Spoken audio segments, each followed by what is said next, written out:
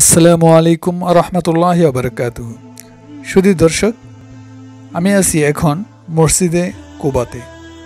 এটা হচ্ছে ইসলামের প্রথম মসজিদ আর এই মসজিদে দুই রেখাত নামাজ পড়লে আল্লাহ তালা একটি উমরা করার সব দান করেন। পৃথিবীর মধ্যে ফজিলতের দিক থেকে চারটি মসজিদের ফজিলত সবচেয়ে বেশি। মসজিদগুলো হলো কাবা শরীফ সংলগ্ন মসজিদে হারাম মসজিদে নববী বাইতুল মুকাদ্দাস ও মসজিদে কুবা। মহান আল্লাহ তাআলা বিশ্বনবী হজরত মোহাম্মদ সাল্লাহ ইসলামকে সত্যদিন প্রতিষ্ঠা সহ সর্বশেষ এবং সর্বশ্রেষ্ঠ রসুল হিসেবে দুনিয়াতে প্রেরণ করেছেন। নবত লাভের পর থেকে বিশ্বনবী মক্কায় প্রথম ইসলাম প্রচার শুরু করেন। এতে ধীরে ধীরে তার প্রতি কাফেরদের নির্যাতনের মাত্রা বেড়ে যায়। নির্যাতনের মাত্রা বেড়ে যাওয়ার চরম পর্যায়ে রসুল্লাহ সাল্লাহ ইসলাম তার প্রিয় সঙ্গী হজরত আবু বকর সিদ্দিক রাদিয়াল্লাহ তালা আনহুকে সঙ্গে নিয়ে আল্লাহর নির্দেশে মদিনায় ছয়শো বাইশ খ্রিস্টাব্দে হিজরত করেন। মক্কা থেকে হিজরত করার পর প্রথমে মদিনায় অবস্থান করেন। তারা নবত লাভের চোদ্দ বছর পর বারোই রবিউল আউ্বাল সোমবার এসেছিলেন। আর এ মসজিদটি ফজিলতের দিক থেকে সুরাত ওবার কোরআনের আয়াতে উল্লেখ করা হয়েছে, যার অর্থ অবশ্যই প্রথম দিন থেকে তাকুয়ার উপর প্রতিষ্ঠিত একটি মসজিদ অধিকতর যোগ্য যে আপনি এতে দাঁড়ান। নবী করিম সাল্লাহ ইসলাম বলেছেন, যে ব্যক্তি নিজ বাড়িতে নিজেকে পবিত্র করে এবং অজু করে মসজিদে কুবাতে আসে এবং সেখানে দুই রাকাত নামাজ আদায় করে, তাকে একটি উমরা হজ করার সব দেওয়া হবে। সুবাহান আল্লাহ হামদিহি সুবাহান আল্লাহ আজিম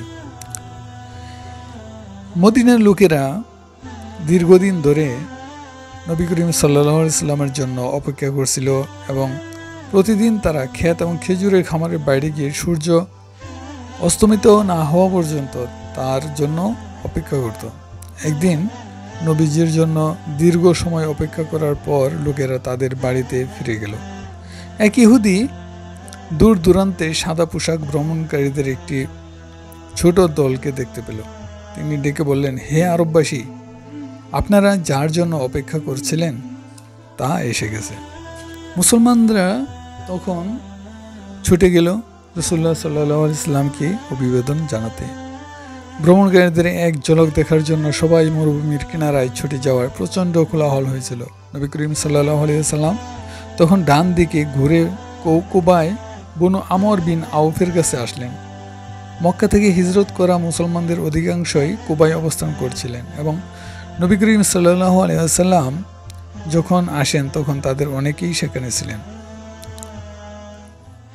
কুবায় পৌঁছার পর রসুল্লাহ সাল্লাহ ইসলাম নেমে গেলেন।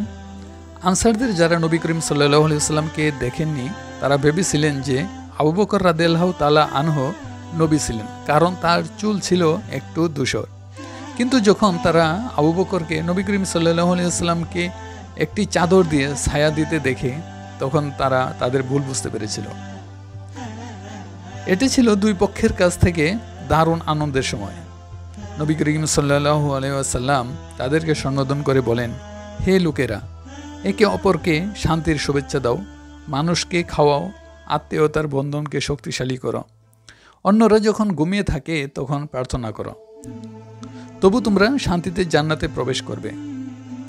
বরকতময় হিজরার পরে কুবা গ্রামে পৌঁছার পর নবী করিম সাল্লাহ সাল্লাম কুলসুম বিন হাদম রাদিল্লাহ তালা আনহর বাড়িতে বেশ কিছুদিন অবস্থান করেন এবং তার জমিতে মসজিদ, কুবার ভিত্তি স্থাপন করেন। রসুল্লাহ সাল্লাহ ইসলাম ব্যক্তিগতভাবে পাথর এবং বালি তার সঙ্গীতের সাথে নির্মাণ কাজের জন্য বহন করছিলেন। তিনি পিঠে পাথর এবং পাথর বহন করতেন, যতক্ষণ না এটি বাঁকানো হয়। কিন্তু যখন তার একজন সঙ্গী তার কাছ থেকে বোঝা নামাতে আসতো, তখন সে না বলতো এবং সঙ্গীকে জিজ্ঞাসা করত যে তার পরিবর্তে একই ধরনের বোঝা বহন করতে। আলী রাদি আল্লাহ তালা আনহ রসুল্লাহ সাল্লাহ সাল্লাম গোপনে মক্কা থেকে মদিনার উদ্দেশ্যে রওনা হওয়ার পর তিন দিন অবস্থান করেন। এই সময়ের মধ্যে তিনি মক্কায় নবী করিম সাল্লাহ ইসলামের সমস্ত বিষয় নিষ্পত্তি করেন। এরপর তিনি পায়ে হেঁটে কুবায় রসুল্লাহ সাল্লাহ সাথে সাক্ষাৎ করেন। আবদুল্লাহ ইবনে দিনার থেকে বর্ণিত রসুল ইবনে উমর রাদিল্লাহ তালা আনহ বলেন, নবী প্রতি শনিবার কখনো হাট, হেঁটে এবং কখনো উটে চড়ে মসজিদে কুবায় যেতেন। নবী করিম সাল্লাহ সাল্লাম কুবা মসজিদ থেকে প্রথম দলীয় নামাজের নেতৃত্ব দেন, যখন আল কোচ জেরুজালেমে আল আকসা মসজিদে সে সময় কেবলা ছিল। সেই শুক্রবার তিনি আবু বকর রাদেল্লাহ তালা আনহর সাথে কুবা ত্যাগ করেন। তিনি তার মাতামহের বাড়ি বানু নাজ্জার কাছে বার্তা পাঠান। তার আত্মীয়রা কুবায় এসে রসুল্লাহ সাল্লাহ ইসলামের সাথে মদিনায় যোগ দেন। আল্লাহ তালা আমাদের সকলকে এই মসজিদে এসে দুই রাকাত নামাজ পড়ার তৌফিক দান করেন। আর যারা হজ অথবা ওমরা করতে আসবেন, অবশ্যই এই মসজিদে জিয়ারত করে যাবেন এবং দুই রেখাত নামাজ পড়ে একটি উমরা হজের সব হাসিল করবেন। আর আমার ভিডিওটি সবাইকে দেখার সুযোগ করে দিবেন। এখনও যারা আমার চ্যানেলটি সাবস্ক্রাইব করেন নাই, সাবস্ক্রাইব করে নেবেন আর পাশে থাকা বেল আইকনটি অন করে দিবেন যাতে পরবর্তী ভিডিও পেতে পারেন।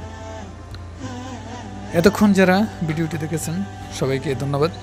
আসসালামু আলাইকুম রহমতুল্লাহ বরকাতুহ।